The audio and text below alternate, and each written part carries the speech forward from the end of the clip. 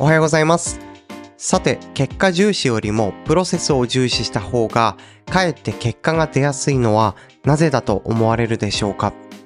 これはですね、先日ワンオンワンをさせていただいた方から、コーチングってなんで結果重視ではなくて、プロセスを重視するんですか？という質問をいただきました。確かにコーチングって特徴の一つとして結果よりもプロセスを重視するという特徴があります。もちろんこれはあのプロセスを重視するというだけでプロセスが全てというわけではないんですね。なのでざっくり結論をお伝えしちゃうとあの結果とプロセスのバランスが大事というのは間違いないかなと思います。ただ一般的には結果重視で考えてる方が多いのかなと思いますし少なからず昔の私もそうでした。だからこそ、そのコーチングではプロセス重視というのを強く歌ってるんじゃないかなと思います。あの、一般的に結果重視の傾向が強いからこそ、あの、プロセス大事だよというのをこう強く推してるんじゃないかなと思います。なので今回は、普段は見向きされにくいプロセスの大切さというか、あの、プロセスの型を持ってお話をしていきたいと思います。ですから今回の内容がおすすめな方は、コーチングを学び始めの人とかコーチとして活動している人はもちろんのこと、なんか結果にとらわれすぎて、なんか自分で自分の首を絞めている感じがするなとか、結果にとらわれてちょっときつくなっちゃっているという、まあそういう方にもおすすめの内容になっております。なので、心当たりあるなという方は一緒にこのテーマについて考えていきましょう。パーソナリティはコーチング付けの日々を送る大阪屋です。ということで本題に入っていきたいんですが、ちょっと今ですね、風邪気味かつ、あの、花粉症の影響もありまして、ちょっと声が聞き取りにくい感じもあるかもしれないんですけど、なんかその点ご了承いただけたら大変ありがたいです。じゃあ本題に入っていきます。まず最初にですね、結果重視にする利点と課題を一緒に考えていきたいと思います。ではまずは結果重視で考える、その利点から考えていきたいと思いますが、皆さんは結果を重視する利点って何だと思われますでしょうか？こちらはですね、ほんといろんな回答があるかなと思いますし、あの正解不正解はないと思うんですが、あの私の中でも3つあの考えたので、それをシェアさせていただきます。まず1つ目は達成感の獲得ですね。やっぱり目標を設定してとか結果にフォーカスして達成できると大きな達成感が得られますよね。なんか結果にフォーカスしていたからこそ得られる、なんかそういう実感っていうのもあると思うんですね。それこそ最近の私の話で言うと、コーチングスクール用のなんかデモ講座というか体験講座みたいな動画を作りたいなーってずっと思ってたんですけど、結構先、先送りにしておりまして、で、それがですね、無事収録、収録完了になりました。ちょっと口回んないですね、今日。で、それを終えてですね、わ、よっしゃ、終わったーって、やり終えたーという、なんかそういう達成感が得られたりしましたね。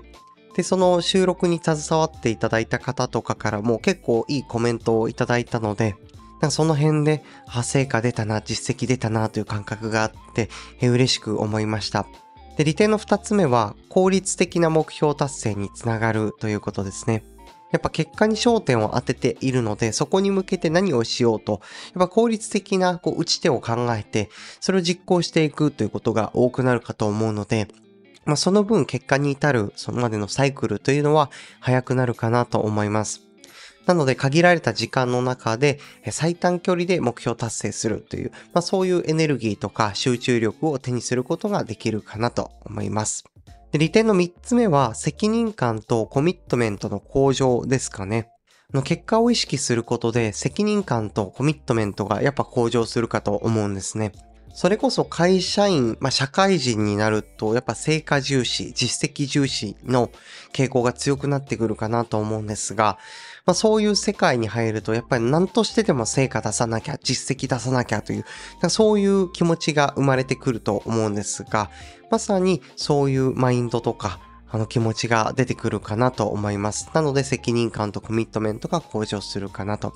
なので利点としては今挙げた3つになりますね。それでは結果を重視する、まあ、懸念点というか課題感で言うとどのようなことが挙げられるでしょうか私の方でも3つ挙げました。まず1つ目が自分の軸がぶれやすくなる。これは起こりうるかなと思います。それこそ、やっぱ結果って短期的な成果や実績のことを指すことが多いので、一時的な成果とか実績、まあ、つまり結果を出すために、なんか周りからの、まあ、アドバイスとか評価、こういったものに依存してしまう可能性が高くなるんじゃないかなと思います。まあ、この状況における思考サイクルとしては、こう自分で考えて行動するよりも、なんか人から助言をもらってやった方が結果が出やすいからという、まあそういうこう試行錯誤を一旦省いて、なんかショートカットをしたいなという気持ちが生まれるからこそ、なんか人の考えとか人の指示、人のアドバイス、評価といったものに依存する可能性が高くなるんじゃないかなと思います。もちろん人からアドバイス、助言を受けることってすごく大事なことだと思うんですね。まあ、それによって自分のこう思考が広がったり、まあ、行動の範囲が広まったりとかする、まあ、そういう可能性の広がりにもつながってきますからね。ただこの際の、このケースにおける課題感とか懸念点としては、やっぱ依存しちゃうこともそうですし、その人は、人のアドバイスとか助言をこう鵜呑みにして行動して、え、それでうまくいったらいいんですけど、それで結果が出なかった時に、そのアドバイスとか助言をしてくれた人に対して、なんかこう責任転嫁しちゃうとか多責的な思考になりやすいという傾向があるかなと思うので、そうなっちゃうと自分自身のためにならないかなと思います。あと、やっぱりこう人の意見とか助言、アドバイスに依存しているとすると、本当の意味でのこう自立した成長とか、持続的な成長とか、持続的な結果成果につながることは、なかなか難しいかなと思います。まあそんな各言う私もですね、独立したての頃は、やっぱりこう結果成果が欲しくて仕方がなかったので、なんか自分にとって大事なものを後回しにしたりとか、こう自分の軸とか自分の考えを後回しにして、本当にこう周りの人のアドバイスとか助言を聞いて、本当風緑のように周りの意見に流される状態になっていましたね。なので、どうでもいいことにお金とか時間を費やしてしまったなという感覚はありますね。今になって思えば。なので一つ目の課題感としては自分の軸がブレやすくなるです。で二つ目はですね、前進する推進力を継続的に得ることができない。まあ、こういう懸念点があるかなと思います。で、結果重視していた時には、そのやっぱ結果が出た時は、結果が出た瞬間はものすごくハッピーなんですね。ただ、裏を返せば、結果が出るまでは満たされないとか、結果が出るまでは充足感が得られないという、そういう状態になりやすいということなんです。で、もっといくと、結果が出ていない自分は許せないとか、ダメだというこう自責の念に駆られてしまう可能性もあるかなと思います。あと、そもそもの話で言うと、今の自分が満たされていない状態で前進するってなかなか困難だと思うんですよね。なんか自分に鞭を打ってこう無理やりこう歩かせようとしても、それって一時的にはエネルギー生むかもしれないですけど、やっぱ持続的なエネルギーは生みにくいですよね。あと結果にとらわれすぎていると、早々に結果が出ればいいんですけど、結果って早々出るものではないので、その結果が出ない時に、それがこう続いた時に、あれなんか自分ってセンスがないのかなとか、なんか自分は向いてないのかもしれないなという、そういう風に解釈してしまう可能性があるんですね。つまり、こう自分の可能性を否定してしまう可能性があるということですね。まあ、冷静に考えると、その結果の有無と向き不向きには何の関係もないというか、因果関係もないですよね。で、さらにさらにさらにですね、あの、諦めやすくなってしまう可能性もありますよね。例えば行動しても結果が出ないとすると、まあ、行動しても意味ない、やっても意味ないと判断してしまって、自分でモチベーションを下げてしまって行動を止めてしまうと。まあ、つまり、あの、諦めてしまうという、まあ、そういうループに入ってしまう可能性もありますよね。つまりまとめると前進するための推進力を継続的に得ることが難しくなってしまうということですね。で、課題の3つ目ですね。やっぱ短期的な思考になりやすくて、目的を見失いやすくなってしまう可能性もあります。どういうことかというと、結果を重視している状態というのは、いわゆる短期的な成果を期待して、期待している状態と言えるかと思うんですね。なんとなくのイメージでいいですけど、こう、結果が欲しい、結果が欲しいって言っている人が、例えばいたとしたら、その人の目線って多分あの下の方に落ちていると思うんですよね。本当こう目先のところにフォーカスしていると思うんですね。なので、こう直感的に表現すると、その結果重視している人というのは、こう短期的な成果、まあ、の目線が落ちた状態になっている可能性があるとなので、やっぱ目先の結果成果の有無に一喜一憂して、長期的な視点を失ってしまう可能性がありますよね。やっぱり未来に対するワクワク感とかこう希望といったものは、やっぱ短期的な目線ではなかなか生まれにくいかなと思いますよね。なんか妄想するときって結構抽象期的なことで妄想すると思うんですよね。やっぱこう、明日、明後日ぐらいの妄想をしたとしても、やっぱこう、現実に引き戻されちゃうというか、なんかこういうことできたらいいなという願いがあると思っても、これをなんか、なんか1週間とか2週間で実現しようと思ったら、いや、現実的に無理かってなっちゃうと。なので、なんか2、3年後ぐらいにこういうことできたらいいなって大体みんな描くと思うんですよね。なので、やっぱ目線を落とした状態でこう希望を抱くっていうのは困難かと思いますので、やっぱ目的を見失い、あの、結果にフォーカスすると目的を見失いやすくなってしまう可能性があります。ということで、ここまでは結果を重視する考え方のこう利点と課題感について、えー、一緒に考えてきました。では続いては、プロセス重視における課題感や利点について一緒に考えていきたいと思います。では、プロセス重視の課題感の一つ目は、時間がかかりやすいという点ですね。やっぱり結果にフォーカスしていないので、ま、だからこそ道のりが長く感じてしまったりとか、こう時間がかかりやすいなというふうに、なんかそういう感覚が生まれることはあるかなと思います。で、これについてはあの補足をしていくと、あのコーチングではあのマイルストーンを置きながら進めていくことがほとんどなんですね。あの中長期的な視点とか、まあ、目標ビジョンを描いたとして、まあ、そこに向けて行動していくにあたって、じゃあ、あの、1ヶ月後はどうしようとか、2ヶ月後は、みたいな、まあ、そういうマイルストーンを置くと。なので、そこで定点観測しながら進んでいくので、まあ、そういうふうにやっていくと、こう道のりの長さとか感じにくくなる傾向はあるかなと思います。これは工夫の一つですね。マラソンとかでもそうですもんね。なんか一定の区間で、なんかこう休憩所というか、給水所か。なんかそういうのあると思うんですけど、なんかそんな感覚に近いですね。で、プロセス重視の、えー、2つ目の課題感としては、評価が難しいということですね。あの、結果重視だと、まあ、明らかに結果出たかどうかで、あの、わかるので、そこで評価できますよね。ただ、その過程をフォーカスしていると何をもってあのうまくいったのかとか、それが何になるのかとか、そういう観点で評価するのがなかなか難しいという側面があります。で、ここでしっかり評価する仕組みを持っていないとモチベーションがぐっと下がってしまって行動が続かなくなってしまう可能性があります。あとこれは本当あるあるかなと思います。ここに関しても補足をすると、コーチングにおいては、コーチングの考え方で言うと、その経験をしてとか、その行動をしたことでどんな成長があったか、どんな気づきがあったか、どんな変化があったかという、もうそういう体験の中から抽出できる学び、教訓といったものは必ずあるので、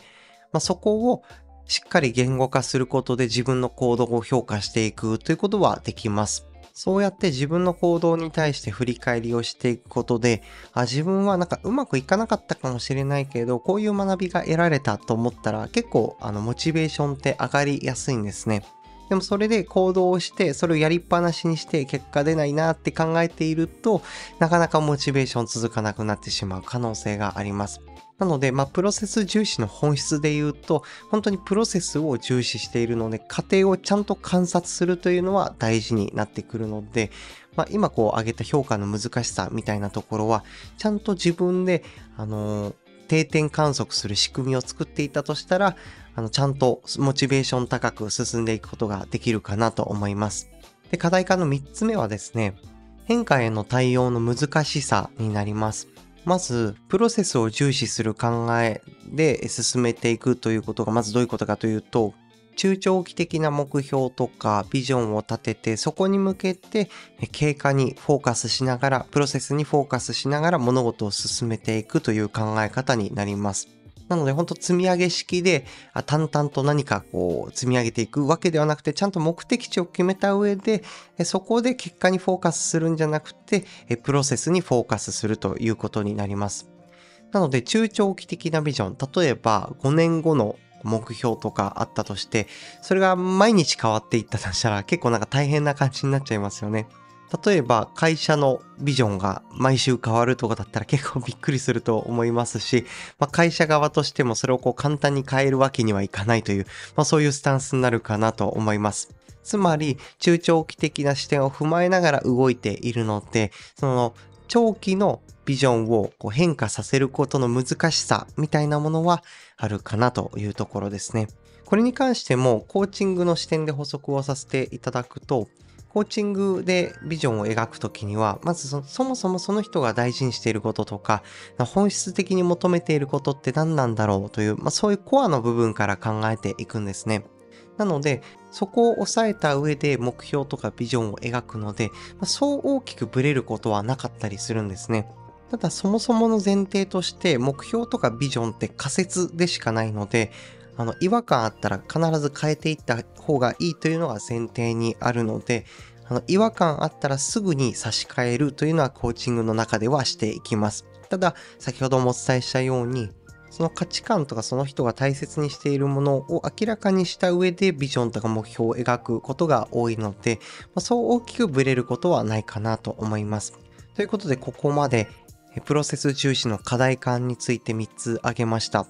ではここからはプロセス重視をする利点について3つ挙げていきたいと思います。まず1つ目は自分の軸を持てるようになるということです。どういうことかというと、あの目先の情報に振り回されにくくなりますよね。あの、イメージでお伝えすると、新幹線の窓際の席に乗っているイメージをあの思い浮かべてほしいんですけど、窓の外を見ていると景色ってどんどん移り変わっていきますよね。で目の前の電柱とか家々とかってどんどんこうすごいスピードでこう過ぎ去っていくと。で、これをいちいち追いかけていったとしたらもう首もげちゃうと思うんですよね。いたたたたってなっちゃうと思うんですね。一方で遠くの景色ってゆったりと移り変わっていきますよね。そう大きく動かないっていうんですかね。なので遠くを見ていれば振り回されないということです。つまり、その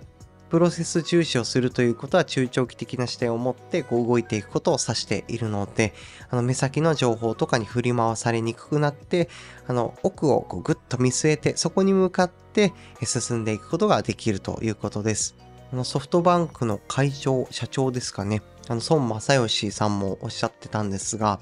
ビジョンがあれば少々の嵐にもへこたれません。近くを見るから船酔いするんです。このようなことを何かのスピーチで語っていましたね。なんかまさにその通りかなと思います。あの、車酔いする時もそうですよね。なんか下とかずっと見てたりすると、スマホいじってたりとかすると、うえってなりますけど、なんか遠くを見ていたら、あの、車酔いってしないですもんね。一緒かなと思います。あとなんかそもそもの話で言うと、なんか自分軸がある人、そういう人って短期的な視点で物事を見ていない傾向にあるかなと思います。つまりプロセス重視で考えている傾向があるような気がします。それこそこう、イチロー選手とか、あと大谷翔平選手とかもそうですし、あの、井上尚弥選手、あのボクサーのですね、この方とかもまさにこう35歳まで現役で続けられるようにトレーニングをして、そして戦っているみたいなことを何らかのインタビューで語っていましたけど、まさに本当日々のトレーニングとか日々のこう自分のこう研鑽を大事にしているなという、まあ、そういう印象があります。まあ、さらに不思議なもので、その結果を出している人というのはプロセスにフォーカスしているという側面もあるかなと思います。結果にフォーカスしていないからこそ結果が得られるという、なんかそういう不思議な現象が起きているような気がしますよね。それこそ先ほど挙げたようなイチロー選手とか大谷翔平選手とか、あの井上尚弥選手とか、まさにこう中長期的な視点を持って日々のこう自分の研鑽に取り組んでいる人そういう方が結果的に結果を生み出しているなという感じがします。これってなんか偶然ではないと思うんですね。で、プロセスを重視する利点の2つ目は自己肯定感が育まれて前進する推進力を継続的に得られるというそういう利点があるかなと思います。あの結果ではなく小さな行動の積み重ねをしていってでその行動の積み重ねをこう自分自身で認めてあげるというかこう自分自身を称えてあげるというかそういったことをしてあげることでなんかそのプロセスを大事にすることでこう自分の自信がついて、まあ、結果的に自己肯定感が高まるとされています。されていますと言ったのはですね、あの、バラス・スキナーっていう、あの、行動分析学の、あの、有名なというか創始者の方がいるんですが、この方がまさに、あの、提唱していたというか、理論としてまとめていましたね。この方が言っていたプログラミング学習だっけなちょっとあの、今調べてないんですけど、その中でスモールステップ理論というものを提唱しているんですが、これが何かというと、小さな行動そのものには何かこう結果を生み出すためのこう力がないかもしれないと。ただ、小さな行動を続けることによってこう自分に自信がついてくると自己肯定感が高まってくると。で自信がつくとその最初の時よりもちょっと大きな行動ができるようになると。でちょっと大きな行動が続けられるようになるとまた自信がつくと。そしたらもっともっと大きい行動ができるようになってその行動がどんどん大きくなっていくと結果的に成果や実績につながりますよということを提唱しているのがスモールステップ理論というものになります。なんかイメージで言うと、あの雪山に登って、あの雪山の上から雪玉をゴロッと転がしたら、それ転がってってどんどん大きくなっていきますよね。なんかそのイメージに近いんじゃないかなと思います。最初はちっちゃい雪玉だったかもしれないけど、転がっていくうちに周りの雪を吸収しながらどんどん大きくなっていきますよね。なんか人の成長とか結果に至るまでの過程というのもまさにそういうところなんじゃないかなと思います。なので小さな行動を積み重ねることによって、つまりこうプロセスを重視することによって自己肯定感が育まれて前進する推進力を継続的に得られるという利点があるかなと思います。でプロセス重視する利点の3つ目は中長期的な視点を持って目的を意識して行動できるようになるという利点です。よく手段の目的化って言ったりしますけど、やっぱり結果にフォーカスしすぎていると、本当に手段が目的化しやすかったりするんですよね。例えば、ダイエットなんかで例えると、最終的なゴールとしては、その理想的な体を手に入れて、なんかこう仕事に打ち込むとか、あとはこうパートナーを探すとか、そういう目的があると思うんですが、なんかダイエット自体が目的になってしまうみたいな感じですね。もっと手前に来ると、そのダイエットを続けることが目的になったりとか、あとは1キロ減らすことが目的になったりとか、あとダイエット器具を探すのが目的になってしまうとか、まあそういうことに、えー、つながりやすいですね。つまり結果を重視するあまり目線が落ちてしまっているということですね。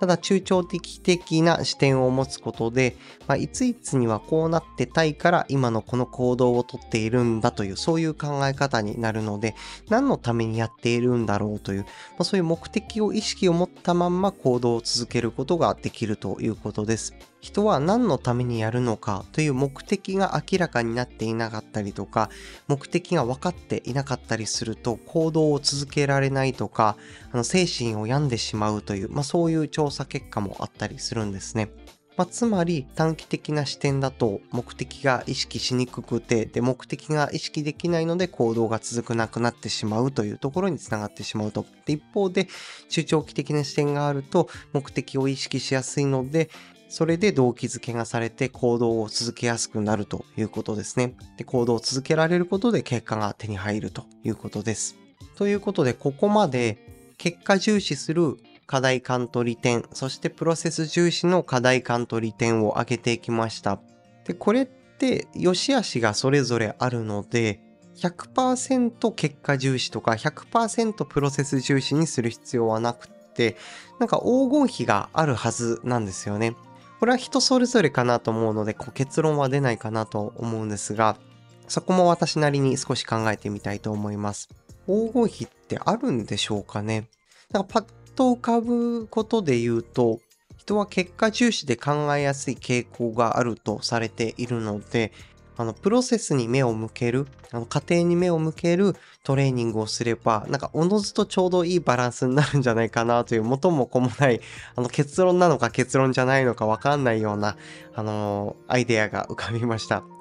一瞬考えてみたんですけど、やっぱ自分に合った黄金比って自分にしかわからないですもんね。まあ、私で言うと多分7対3ぐらいで、あの、プロセス重視の考え方を持っているんじゃないかなと思います。と言ってみたんですけど、なんか8割ぐらいプロセス重視な気がしますね。ほとんど結果のことは意識してないですね。とりあえず目の前のことを全力でやって、それでどんな結果が出るかは、あの人事を尽くして天命を待つじゃないけど、なんかそういうスタンスで動いていることが多いなと思います。で、最後のトピックとしてもう一つだけ考えたいのが、コーチングにおける結果との向き合い方についてです。コーチングって目標実現をするためのサポートをしているかと思うんですね。かと思うというか、まあそうすることがほとんどですね。で、それってなんか結果重視のサポートなんじゃないのっていうふうに捉えることもできると思うんですね。ここもちょっと言語化してみたいと思います。まず大前提としてコーチングにおける目標実現のあの目標は何を指しているかというと、中長期的な目標とかビジョン、つまり中長期的な視点のことを指しています。中長期的な視点というのは何かというと、将来的な目標のことを指していて、それを達成するために中長期的な計画を立てて、現状の行動に落とし込むということをやっています。だから短期的な視点のことではないんですね。ま、ここで言う短期的というのは目先の成果や実績のことを指しています。で一方で結果重視が何かというと短期的な実績や成果に焦点を当てて目の前の結果を重視することを結果重視という考え方に、えー、として定義されています。なので、コーチングでは短期的な成果とか実績にフォーカスしないですし、そもそも結果重視ではないので、まあ、そこら辺に大きな違いがあるかなと思います。でちょっと余談なんですけど、そもそものコーチングのルーツをたどると、中世ヨーロッパまで遡るんですけど、今何の話をし始めるんだろうって皆さん思ったかもしれないんですけど、ちゃんと、あの、落とし込めると思うんで、気長に聞いてあげてください。そう、中世ヨーロッパまで遡るんですけど、コーチングのルーツとなったのが、その中世ヨーロッパ時代の馬車なんですね。で、当時の馬車って乗り心地が悪くて、あのクッション性がなくて乗ってると痛くなっちゃうという風にあの酷評されていたらしいんですね。なので中長距離の移動には向いていないとされていたんです。ところが、そこで誕生したのが、あの、ハンガリーのコチ村というところで誕生したサスペンション付きの馬車なんですね。このサスペンションって何だかご存知でしょうか？サスペンションっていうのは、あの、車体とタイヤの間を結ぶ、あの、衝撃を吸収するような部品のことを指しているんですが、まあ、そういう部品がそのコチ村で開発されて、えー、それが馬車につくことによって、わ、これはすごい快適だと。今までの振動とか、あの、衝撃は何だったんだというふうにこう話題になったんですよね。で、この馬車に乗ったとしたら中長距離移動できるぞというふうに評判になっていったと。で、そんなコチ村の馬車の噂を聞いた人たちが、目的地まで快適に運んでくれる手段のことを、つまり馬車のことをコチと呼び始めたんですね。で、それがさらに転じて19世紀頃になると、目的地まで伴走する人のことをコーチと呼び始めたんですね。ここまで話を聞くと何のことかなんとなくイメージできてきたかなと思います。つまり初期モデルの馬車は長距離移動に向いていなかったと。ただところがコチ村で生まれた馬車は長距離に向いているし快適に目的地までたどり着けるということがあの評判になったと。それをルーツとしてコーチングができたとすると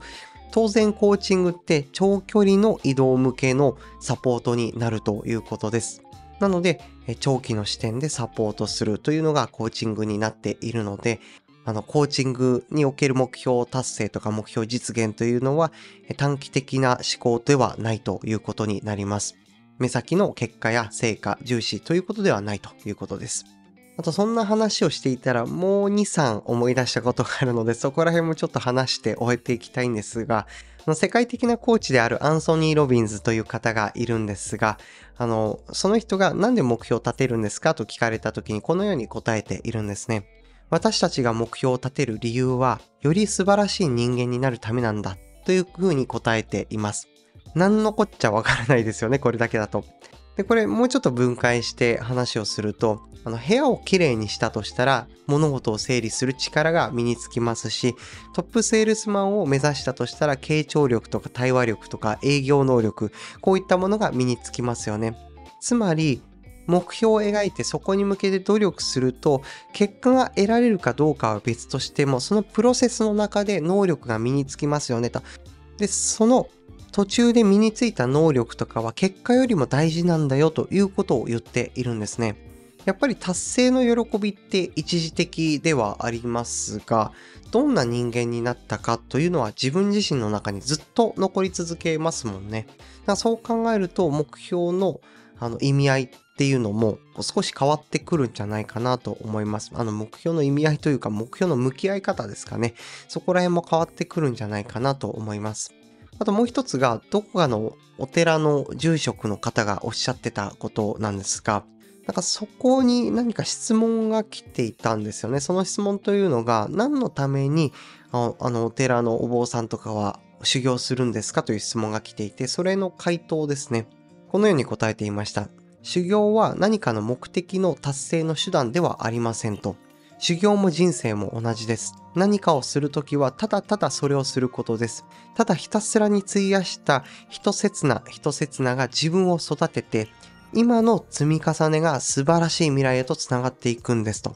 こういう短い文章で答えていました。ちょっと抽象度が高いので、もう少し噛み砕くと、日常に置き換えると、なんか社会人って日々仕事をすると思うんですが、これがなんか昇格をするという目的のためにとかそこにフォーカスして働いていたとしたら昇格できなくなったっていうそういう結果が出た瞬間にそれまでの努力を無意味に感じてしまう可能性がありますよね。ただ昇格できなかったとしても一瞬一瞬努力したという経験そのものは自分のキャリアとか人生にたくさんの恵みをもたらしてくれますよね。おそらくそういうことを言っているんじゃないかなと思いましたし、ここまでの話の文脈ともつながるかなと思ったので、言語化してみました。で最後に所感として個人的に思うことを語りたいんですけど、まだ喋んのかよみたいな感じかもしれないんですけど、ちょっと思いついちゃったので喋ります。これで本当最後にします。あの結果が出なくて葛藤している人ってすごく多いと思うんですね。ただなんかそういう方の話を聞いていてとか、まあ、そういう人とこう触れ合って感じることは、なんかある種自信があるんだろうなというふうに思うんですよね。どういうことかというと、あの、結果が出ないって葛藤してるっていうことは、結果が出ておかしくない状態にある。結果が出て叱るべき自分の状態だというふうに捉えているかと思うんですね。ちょっとなんかオブラートに包んで表現しすぎたんですけど、ストレートに言うと、結果が出て当然とか、結果が出てないとおかしいと思っている側面も、なんか大なり小なりあるのかなというふうに思ったりなんかもすることもあります。全員が全員そうじゃないですけどね。なんかそういう人とお話しすると、もうこちらからすると、なんでそんなに早く結果が出ると思ってるんだろうっていうのが、あの、不思議に思うことがあります。あの、天才と言われたイチローさんとか、大谷翔平選手とかも、おそらくすぐに結果が出ると思って行動はしていないと思うんですよね。まあ、それがこう現れているのがやっぱりこう日々のトレーニングにフォーカスして本当に地味な練習を積み重ねていると思うんですね。それがもうまさに全てかなと思います。プロセスにフォーカスしていらっしゃるんだろうなというふうに感じます。幸いなことに自分の場合に関しては、なんか自分にそんな期待していないというのがあるので、そんなにできると思って挑むことがそんな多くないので、まあ、そこら辺は、あの、小さく行動を続けることができる要因としてあるのかなと思います。なんか今、ジム通っていますけど、なんか1年間でムキムキになろうとかってもう全然考えていないですからね。なんか私の計画で言うと、1年間、あの、ジムに通って、ジムに行くとか体作りをするという習慣を1年かけて作ろうという計画で今ここまでやってきました。だから1年間と現在をあの比べると筋肉量で言うと全然増えてないんですよね。し、体力はついてきたもののそこまで大きくとか爆発的に伸びたかというとそういうわけではないんですね。でもやっぱりこうやってコーチングを実践して学んできたことによって、なんかプロセス重視できるようになって、まあいい意味でこう期待を手放せているからこそ、あの行動が続けられたのかなというふうにこう自覚をしております。ということで、なんか最後自分のなんか自慢話みたいになっちゃったんですけど、なんか終わり方としてなんか微妙な感じもしますが、あの喋り終えたんで終えていきたいなと思います。ということで今回の話を聞いてみていかがでしたでしょうか？一応最後にお知らせをしていきたいと思うので、まあ、興味ない方はこのままあのスキップしてもらって大丈夫です。お知らせの内容は毎月募集しているとかし始めた無料相談窓口の話ですね。3月1日のと朝の7時半から募集開始しようかと思います。募集開始しようと思うというか、そういう設定にしております。で、概要欄にリンクを貼っておきますので、そちらから興味ある方はお申し込みください。で、今月はちょっと2枠に絞って募集をさせていただこうかなと思います。ちょっと3月がドタバタすぎてですね、あまり予定を入れすぎると全体のパフォーマンスが下がってしまいそうなので、まあ、一旦お二人のあの制限を設けてですね、募集させていただきますので、興味ある方はですね、気軽にお申し込みいただければと思います。で、コーチングスクールのオリエンテーションもですね、こちらもですね、2名限定で募集させていただければありがたいなと思っています。ちょっとあの、本格的な申し込みも入り始めているので、この3月の中旬ぐらいでオリエンテーションももう締め切りとさせていただこうかなと思っております。はい。ということで、今回少し長くなりましたが、今回の内容面白かった学びになったという方はですね、ぜひコメントやメッセージいただけると嬉しいです。なんか風邪ひいてるとか、花粉症で鼻詰まっていると言った割に結構話長くなったなと思います。あの、風邪が回復するまであんまりエネルギーが出ないかなと思うので、あの、応援メッセージやコメントお待ちしております。ということで、今朝とか日中に聞いてくださっている方は良い一日をお過ごしください。今夜寝る前に聞いてくださっている方は素敵な夜をお過ごしください。今回も最後までご視聴いただきありがとうございました。ではまた。